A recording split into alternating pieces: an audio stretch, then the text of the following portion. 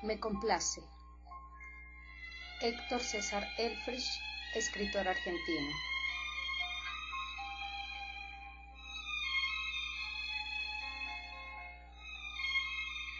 Amante de la verdad, forjadora de inquietudes, albergas vicisitudes, es muy firme tu accionar.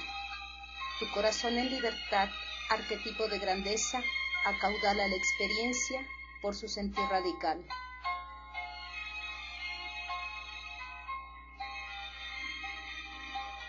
Es tu placer por decir que te convierte en baluarte, ya que no dejas detalle liberado a un devenir, y a la hora de asumir se destaca tu prestancia con actitud y elegancia, dejas claro ese sentir.